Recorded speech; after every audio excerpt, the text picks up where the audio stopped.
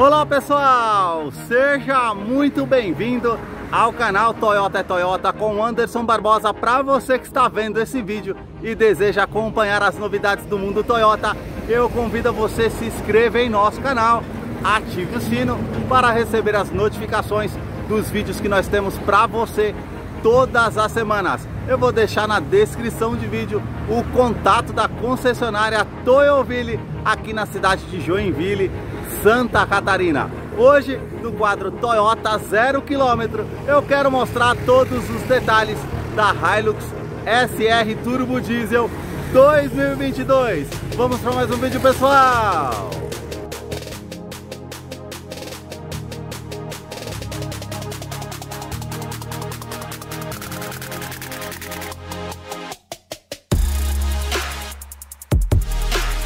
Hoje eu quero mostrar todos os detalhes da Hilux SR Turbo Diesel 2022 que já teve uma atualização já no primeiro ano. Coisa difícil de acontecer na Toyota, geralmente são dois, três anos para ter atualizações e essa já sofreu atualizações, ar-condicionado duas zonas e também sensores de estacionamento dianteiro e traseiro que eu vou mostrar para vocês no decorrer de vídeo desse veículo que está exposto aqui na concessionária Toyoville. Eu vou deixar na descrição de vídeo o contato da concessionária para que você possa verificar valores e também negociações desse modelo. Quero começar pela frente do carro mostrando os seus faróis que saem aqui da sua lateral, vindo até a parte da frente, com esse detalhe, com esse acabamento black piano no seu interior, com a inscrição Hilux, essa parte aqui cromada, também os cromados no seu interior. Aqui a parte do conjunto óptico é halógeno, com a lanterna, indicador de seta, farol alto e baixo, que são também halógenos. A parte aqui com essa saliência que realmente traz um detalhe interessante na parte de design da parte do farol e também a parte de baixo aqui do para-choque nós já temos sensores de estacionamento dianteiro que não contava na linha 2021, agora já conta na linha 2022. Essa peça com esse acabamento preto fosco, farol de neblina, que é no caso halógeno. Aí nós temos esses vincos bem pronunciados na parte aqui do para-choque que realmente traz um destaque interessante. Essa parte frontal como se fosse um bumper, essa grade com essas entradas de ar aqui no caso com esse acabamento preto fosco. Aí nós já temos toda essa moldura com esse acabamento cinza metálico que realmente dá um destaque interessante. Parece muito com a frente da Tacoma nos Estados Unidos. Essa parte da grade superior já é toda com essas entradas de ar com acabamento preto fosco. O logo cromado da Toyota. Eu quero abrir a imagem para mostrar a frente da Hilux para vocês. Aqui na parte do capô nós já temos esse vinco que sai lá de cima, vem até a parte aqui na frente da grade e da mesma forma aqui do outro lado. E agora eu quero mostrar o motor da Hilux. A principal mudança na Hilux com certeza foi na sua motorização, que é 2.8 turbo diesel intercooler 4 cilindros em linha, duplo comando de válvulas, agora com 204 cavalos, são 27 cavalos a mais do que a versão anterior 2020 dessa oitava geração que sofreu agora uma atualização para essa linha 2022. Ela conta com transmissão automática sequencial de 6 velocidades, por isso ela teve uma atualização no conversor de torque. Ficou um pouco mais ágil numa saída de trânsito, numa retomada. Também eles posicionaram um intercooler maior aqui à frente para que esse carro tivesse o torque de 50.9 kgfm a 3.400 RPM. Eu vou deixar a ficha técnica desse modelo na descrição de vídeo para que você possa acompanhar os detalhes referente a consumo, quais os acessórios que vem nesse modelo para não se tornar um vídeo tão extenso. Notem nas imagens toda a parte de fiação, a composição dos motores referente às mangueiras, olha todo o cuidado que a marca tem e realmente é uma motorização de uma confiabilidade no mercado. No capô, essa manta acústica, uma outra manta acústica entre a parte do painel e o motor, para justamente trazer menos ruído no interior da Hilux, que eu vou continuar mostrando para você. Deixa aí nos comentários o que você achou desse modelo e também do canal que mostra os veículos da marca e o que eles oferecem.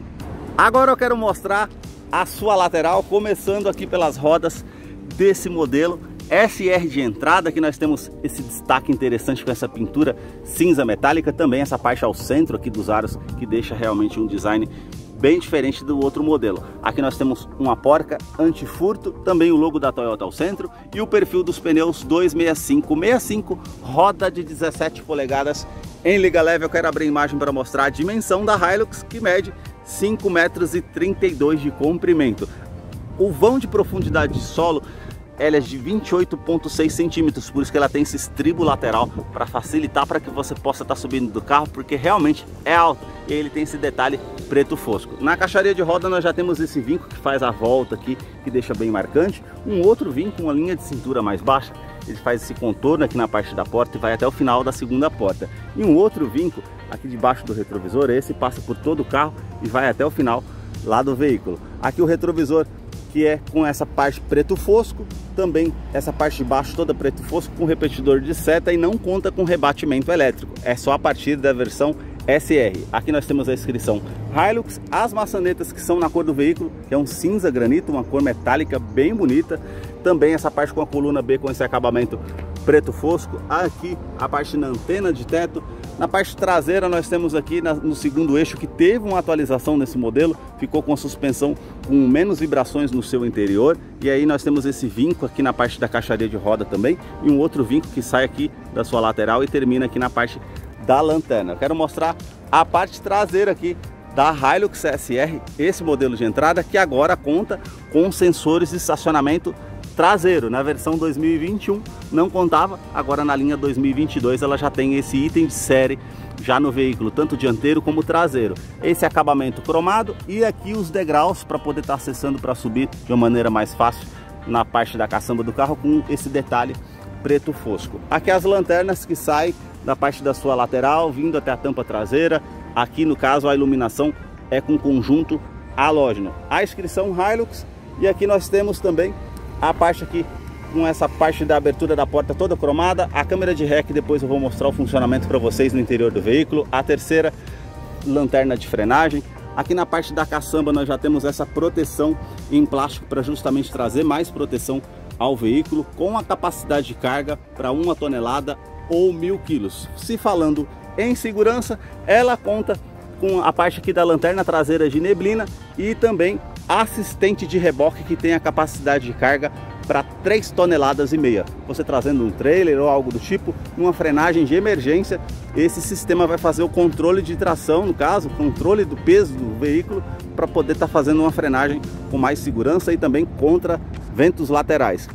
E também ela conta no teste de colisão no Latin NCAP com 5 estrelas, são 7 airbags no total. Então ela conta com dois airbags frontais, airbag de joelho para o motorista, airbags laterais e também airbag cortina nos vidros. Eu sempre faço questão de enfatizar no canal que eu tenho 1,90m, eu coloquei o banco do motorista todo para trás, o entre-eixo aqui da Hilux é 3,8 metros, 8, tem as alças para facilitar, para que eu possa estar tá subindo no carro. E sentando aqui atrás, nós temos esse espaço aqui de mais ou menos 2 a 3 dedos. Quero mostrar a parte do painel dessa versão SR para vocês diferenciarem das demais versões. A parte aqui do revestimento do banco é em tecido, mas ele tem esse acabamento com essas ranhuras, também essa linha aparente. Os ganchos aqui na parte do banco traseiro, tanto do lado do motorista como do passageiro, para poder colocar uma sacola, uma bolsa para que não fique solto no interior, com capacidade de 4 kg. Aqui nós temos portas revistas, tanto do lado do motorista como do passageiro, e não conta com duto do ar-condicionado. Aqui nós temos a iluminação para quem está aqui atrás, a parte do teto aqui é cinza, com as alças aqui na parte do teto, também esses ganchos aqui para auxiliar de alguma forma, o aquecedor aqui na parte dos vidros traseiros, vou mostrar o detalhe aqui dos bancos aqui para vocês, essa parte que tem essas ranhuras que realmente traz um destaque, cinto de três pontas para todos os ocupantes, encosto de cabeça para todos os ocupantes, essa parte aqui com descansa-braço com opção para dois porta-copos quando estiver viajando aí com quatro pessoas. Se for o caso, a parte com isofix, que é a fixação das cadeirinhas infantis, tanto do lado esquerdo, tanto ali do lado direito. Na parte da porta nós já temos aqui o revestimento em tecido e aqui já é um plástico rígido preto com essa, esse detalhe prata. Os puxadores cromados essa peça com acabamento black piano e o acionador do vidro elétrico. Aqui nós já temos essa parte com esse nicho, um porta-garrafas e o alto-falante aqui da porta. A sua chave, ela não é do tipo presencial, ela é do tipo canivete, basta você apertar esse botão. Nós temos essa parte cromada, aqui o logo da Toyota. Esse botão aqui para acionar o alarme para encontrar o carro de uma maneira mais fácil no estacionamento, caso você não encontre. E a parte aqui com alarme perimétrico do veículo. Ela não conta com alarme volumétrico, é só a partir da versão SRV. E aqui nós temos aqui o ajuste do banco do motorista e a parte do banco aqui com o revestimento.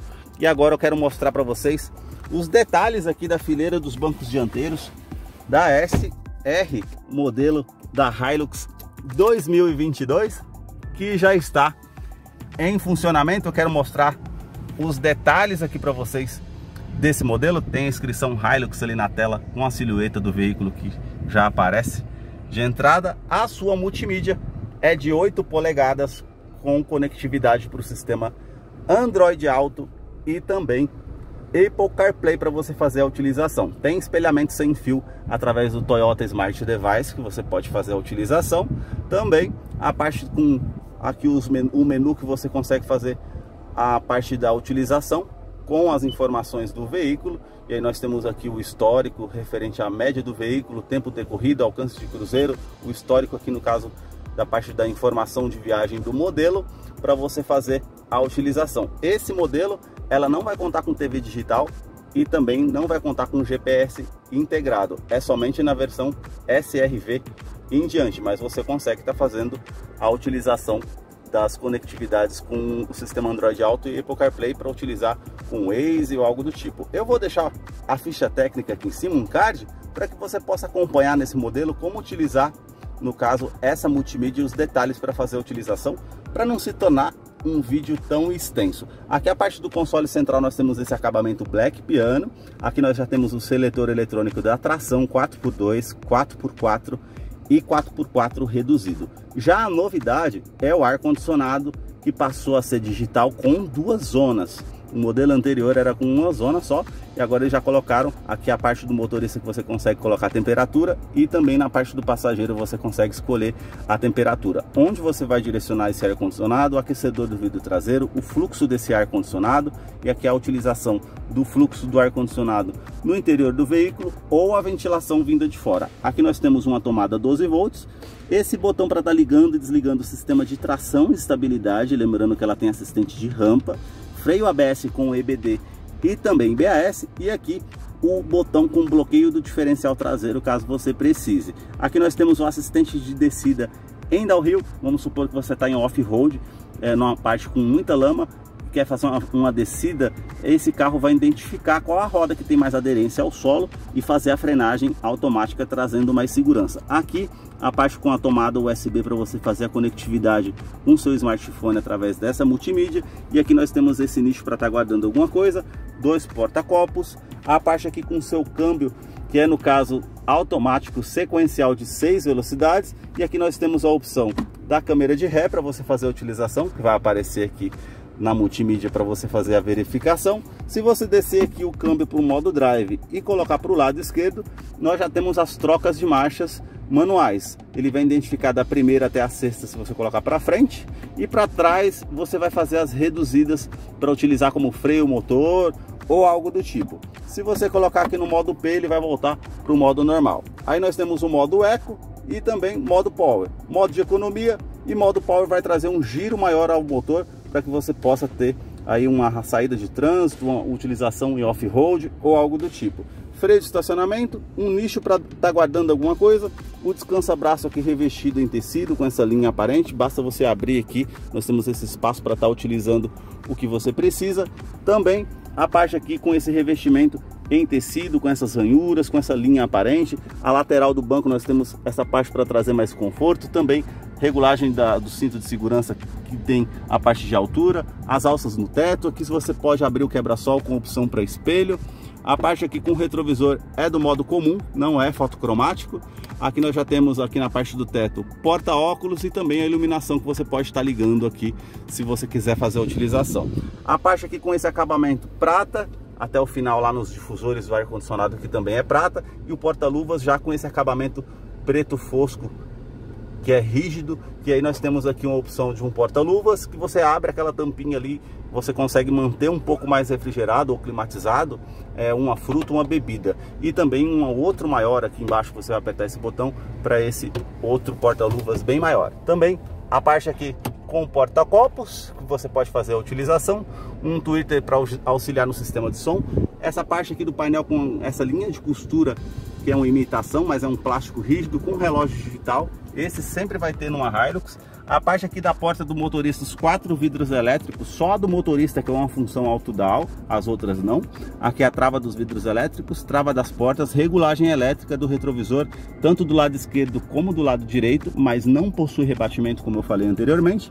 Aqui na parte do painel nós temos aqui um porta-copos para o motorista para ele fazer a utilização. Aqui no painel nós já temos essa parte para poder estar tá no caso mudando é, a parte do bip do sensor de estacionamento para ficar maior ou menor para você fazer a utilização. E aqui para você colocar mais peso no carro vamos supor que ele vai erguer a dianteira e você consegue regular o facho do farol do veículo. A abertura do tanque do motor do cofre do motor a sua direção é hidráulica Aí ela conta com um volante multifuncional, com esse revestimento em couro, com essa costura aparente, com essa parte com esse detalhe prata, o logo cromado da Toyota velocidade de cruzeiro que você consegue estar tá fazendo a utilização para poder utilizar nas viagens por ser um carro automático, então ele tem o controle de velocidade de cruzeiro e o volante que é multifuncional, tem comando de som, comando de voz, atendimento de telefone celular via Bluetooth e aqui do lado direito você consegue fazer a utilização, no caso, do computador de bordo do veículo. Na parte do painel, nós já temos aqui esses detalhes prata com iluminação branca e os detalhes azuis aqui ao centro. Conta giros, a parte com o medidor do arrefecimento do motor. Aqui do outro lado, o medidor do tanque de combustível que é de 80 litros. Aqui a parte com conta giros do motor e aqui a parte com o painel com essa tela de 4.2 ao centro para você fazer a utilização. Então nós contamos aqui com a parte com odômetro total, a média instantânea do veículo, a média de consumo, a, a parte com a temperatura exterior, a parte com a opção do câmbio ali que está no modo parado, se você colocar ré ele vai ficar em ré, colocar drive vai ficar em drive. Se você descer aqui, nós temos a parte de autonomia do veículo, quanto que você consegue rodar com o tanque de combustível que você tem no veículo, o modo de indicação de economia, tempo de partida, tempo de cruzeiro, tempo que o veículo ficou parado numa viagem, também um modo de economia referente aqui à comparação de consumo e as definições que você consegue estar tá fazendo e o velocímetro digital. Se você colocar a setinha para o lado direito, nós já temos aqui essa pasta com a música que está passando na rádio ou no aplicativo que você está utilizando. Essa aba aqui com mensagens do veículo, tudo que é mensagem referente a esse veículo vai aparecer aqui nessa parte dessa tela, como é, o combustível que precisa ser reabastecido, porta que está aberta, as mensagens importantes do veículo vai aparecer ali. Se você colocar aqui nessa outra pasta, nós já temos as configurações gerais do veículo, idioma, unidade, modo de economia, as configurações gerais, as configurações da cor aqui da multimídia ou da própria tela aqui que está o centro que você consegue estar tá fazendo as mudanças. Esses foram os detalhes que eu mostrei para vocês aqui da Hilux SR 2022, esse modelo de entrada. Eu vou deixar a ficha técnica desse modelo na descrição de vídeo Caso eu não mencionei algo, você possa estar tá acompanhando depois. Deixa aí nos comentários o que você achou desse modelo. E agora nós vamos ter a participação do Salve Toyoteiro. Para você que acompanhou esse vídeo até o seu final, é fã da Toyota, seguidor aqui do nosso canal, chegou a hora da participação do Salve Toyoteiro. E o primeiro salve de hoje vai para José Ricardo, lá de Campo Grande, Mato Grosso do Sul. O segundo salve vai para Rosivaldo Coutinho, de João Pessoa, em Pernambuco. O terceiro e último salve de hoje vai para Edson Queiroz, de Teixeira de Freitas, na Bahia. Se você deseja nos próximos vídeos receber um salve aqui do canal, deixe embaixo nos comentários o seu nome, sobrenome, a cidade e o estado você deseja receber o salve. Muito obrigado mais uma vez por assistir um vídeo aqui no canal. Até a próxima!